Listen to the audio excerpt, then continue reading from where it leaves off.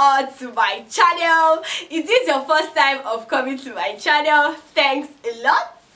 Don't forget to give this video a thumbs up, like, share and subscribe so in today's tutorial we are going to be making a simple video on how to cut and sew both neckline with handkerchief fling so this blouse now we are going to be having a both neckline and also i'm going to be showing you guys how to achieve your handkerchief flay so if you're interested in learning how to do this please give this video a thumbs up and also click on the notification bell so that you can get notified once a video pop up so what are the basic measurements required in order for you to achieve your boat neckline with handkerchief fling So we have our shoulder measurements, bust, waist, hip and our gown length. Don't forget to join us on Facebook, 3 Designs, on Instagram, 3 Designs and also visit our website. You guys, we have amazing fashion illustration on our website. All the details are going to be in the description box below. So let's go ahead now and calculate our basic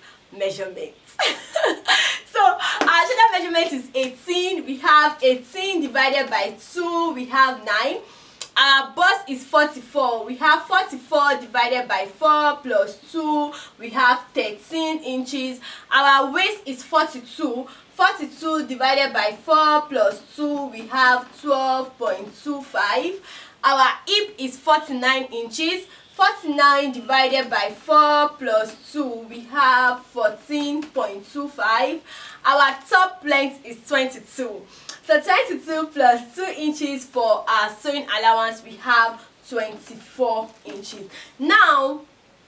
another thing you should also take note of when you want to achieve your both neckline and your handkerchiefs flay is that we have this blouse is a combination of your both both neckline and also your handkerchief flay so it is also necessary for you to know like your shoulder measurement to your half length and what is half length measurement so half length measurement is simply one inch one to two inches above your navel so you go ahead and place your tape measure from your shoulder to one to two inches above your navel so once you are done with that now what we are going to have for our half length now so we have half length is it showing okay so we have half length now to be 18 inches so we'll go ahead and add one inch for our sewing allowance we have 19 inches so from our shoulder level to somewhere around our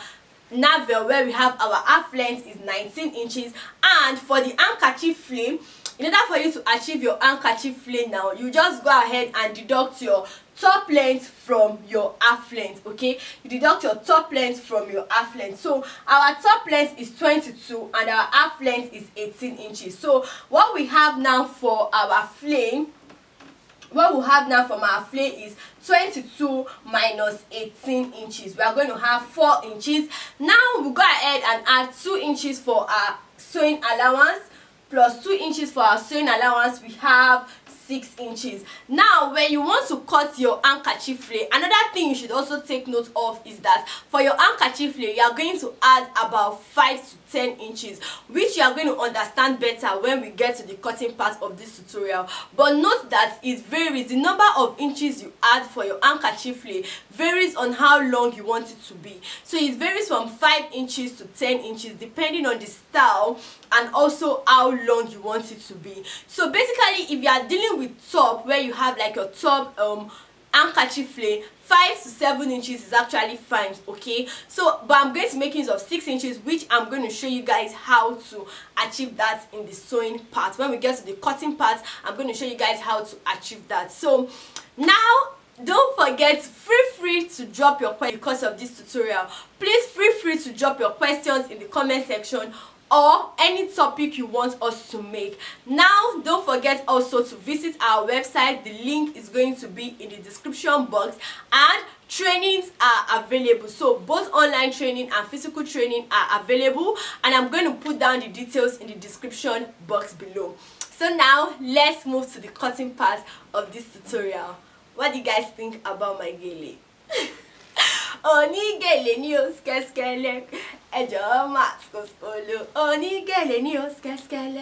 Guys, now the first thing we want to achieve now is to go ahead and mark our basic measurements, okay? So what we have here now is our half length. So we are basically going to mark our shoulder to arm 09 and half shoulder to bust 10 inches shoulder to under bust we have 14 inches and then go ahead and connect the lines together they are done now the next thing you are going to do now is to go ahead and mark your basic measurements okay so our that line now is four and a half we'll go ahead and mark four and a half once we are done with that we'll connect the lines together so once you connect the line this is what you have Then go ahead and mark half inch on both sides on the waistline mark half inch on both sides and then you connect the lines together so this is what you are going to have for your dart now the next thing you are going to do now is to go ahead and mark your shoulder measurements go ahead and mark your shoulder measurement 9 inches our bust measurement 13.25 our waist measurement we have 13 inches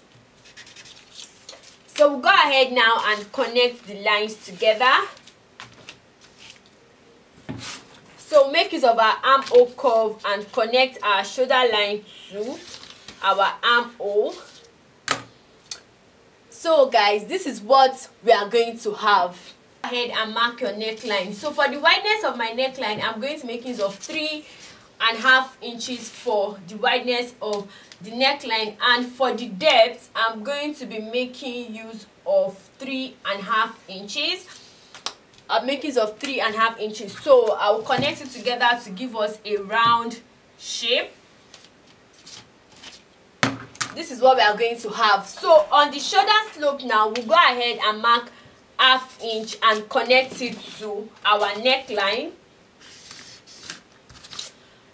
so guys this is what we are going to have achieve now is our boat neckline okay what we want to achieve now is our boat neckline so at this point now you have like your basic um, block so you go ahead now and mark what you want to use for your boat neckline note that it totally depends on how deep you want it to be right and how revealing you want it to be so for me now i'm going to make use of about seven inches I'm going to make it of 7 inches because I really don't want it to be too deep or too opened that much. So I'm going to make it of 7 inches. Now you are going to go ahead now and connect your neckline now to mark this. What we are going to do now is we are basically going to connect this to our neckline okay just to give us that sweetheart um, shape and you are going to make use of your curve just to have your sweetheart shape okay so we are going to do that i'm going to make use of dotted lines first okay so that you can have like your sweetheart um shape so this is what we are going to have this is what we are going to have now the next thing you are going to do note that you can bring down this your sweet sweetheart to this part but because my client just wants it very little okay she doesn't want to like reveal so much that is why i'm marking this point so if you want to like reveal a little or more you can bring this down okay you still have like a very good effect it just depends on how much opening you want to have for your key. keyhole now what i'm going to do now is from this point now i'm just going to go ahead and mark one and half i'm just going to go ahead and mark one and half okay so once i mark one and half now what we want to achieve now is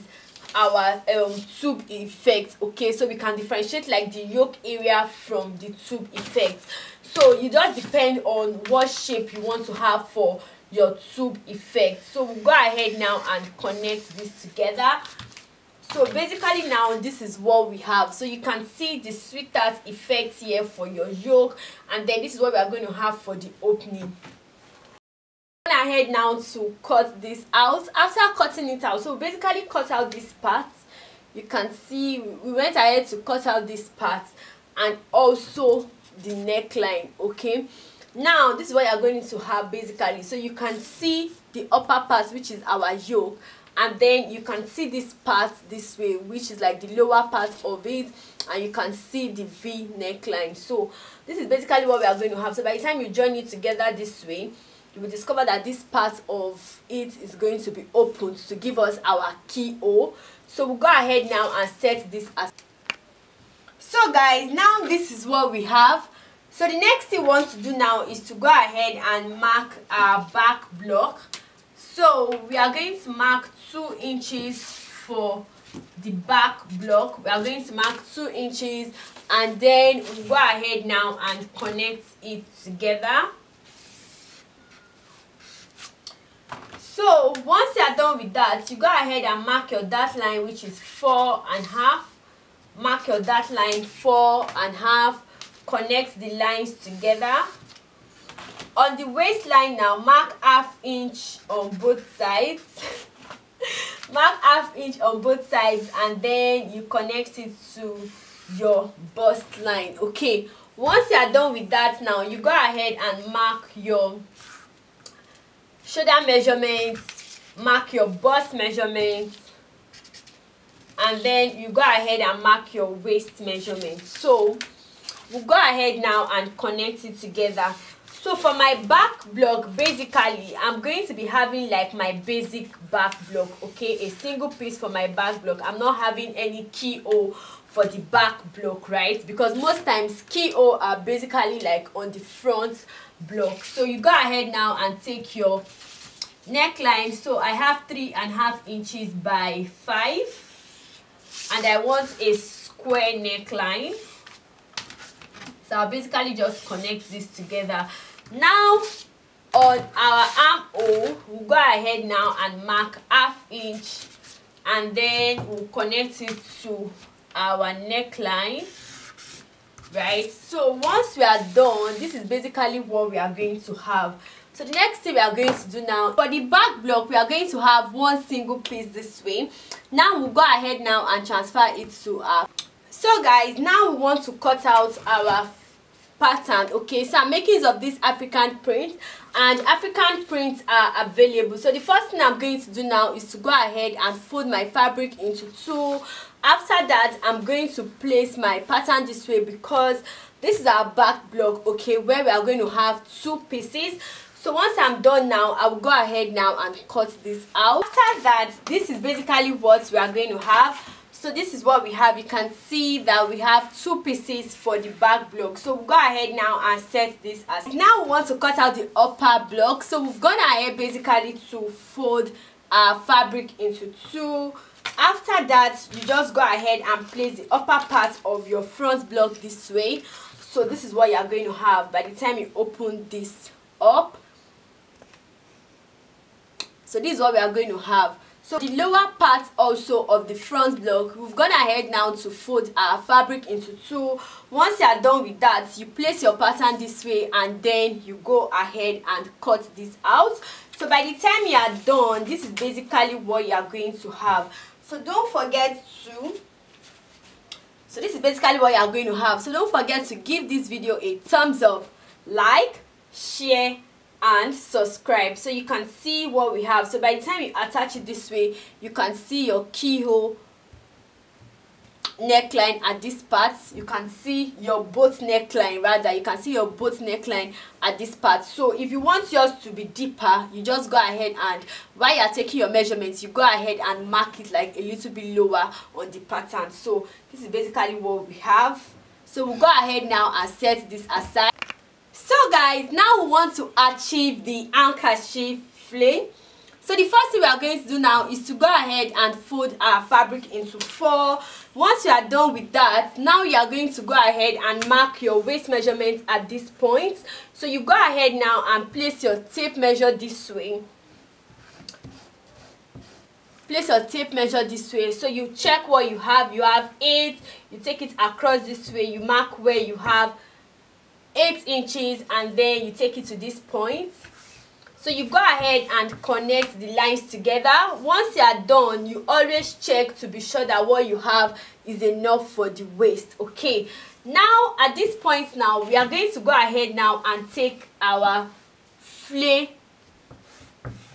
we are going to go ahead now and take our flay length which is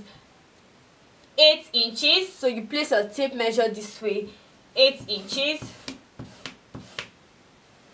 8 inches right so you take your tape measure from this point now to this part we have 17 inches you take it across this way you mark where you have 17 you take it this way and then you mark where you have 17 inches so once you are done with that you go ahead now and connect the lines together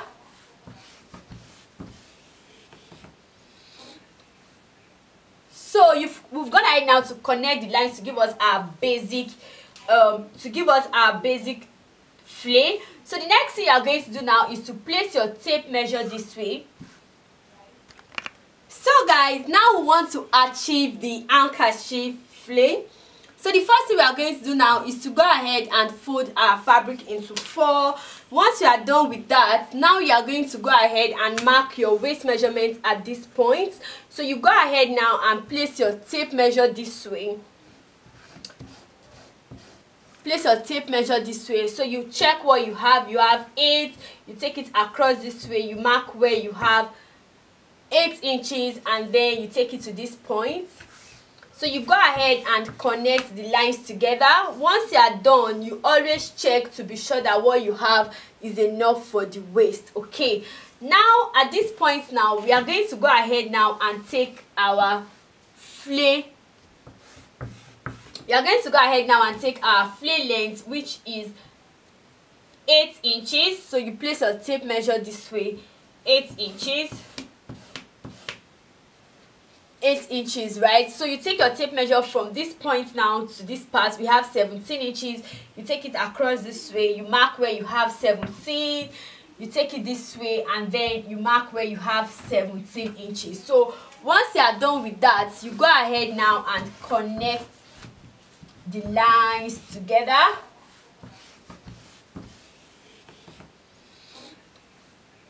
so you've we've gone right now to connect the lines to give us our basic um to give us our basic flay so the next thing you are going to do now is to place your tape measure this way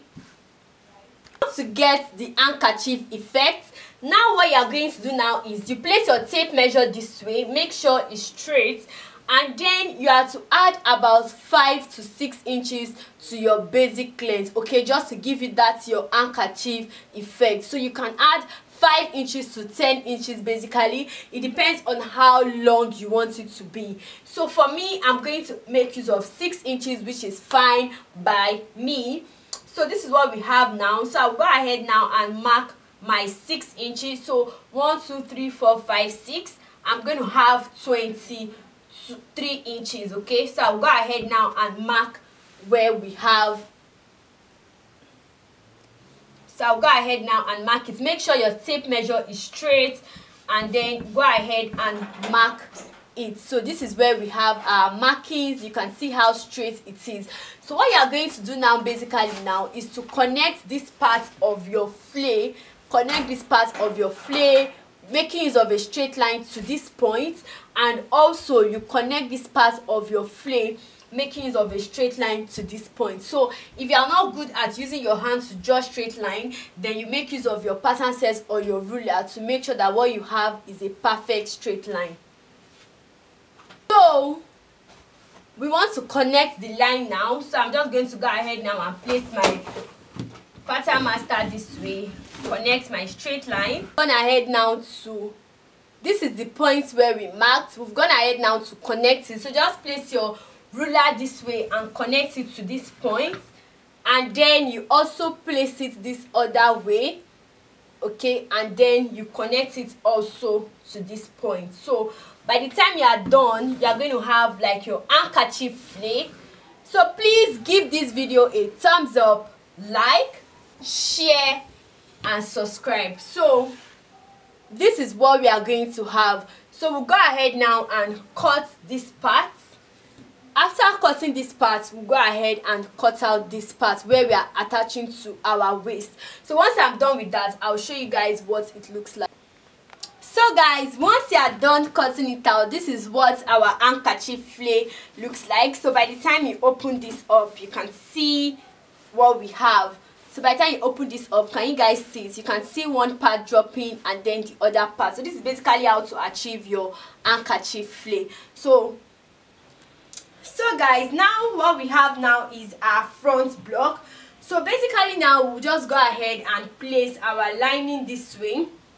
once you place your lining you go ahead and stitch your neckline and then you stitch the sides once i'm done with that i'll show you guys what it looks like block where we have two pieces also we've also gone ahead to cut out our lining for the two pieces so basically what you are also going to do for the back block is to stitch the neckline and then you stitch the two sides so you do the same for the second piece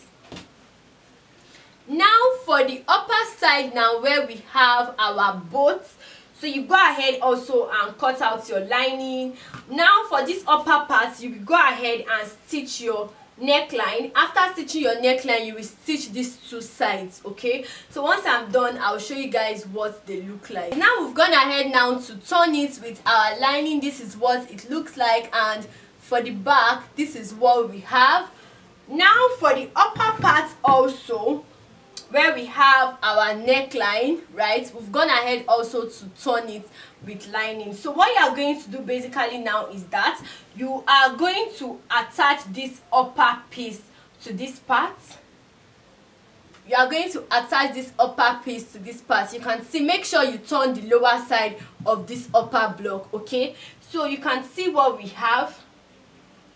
you can see and you can see the boat neckline you can see that what we wanted was just like a very tiny opening at this part so you can see what it looks like with this alone you can even see your boat effect so this is basically what we have for the front block so let's go ahead and set this aside block now we've also gone ahead to turn them with lining and this is what it looks like so you go ahead and fix in your dart for the two pieces As we've gone ahead now to attach the upper piece to the lower piece and this is what our keyhole looks like. So the next thing we are going to do now is you are going to take your back block and place it this way on your front block.